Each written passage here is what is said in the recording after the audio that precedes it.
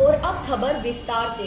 पूरे देश और सिस्टम को झकझोर देने वाले निर्भया गैंगरेप केस में कल सुप्रीम कोर्ट ने अपना अहम फैसला सुनाते हुए चारों दोषियों की फांसी की सजा को बरकरार रखा है।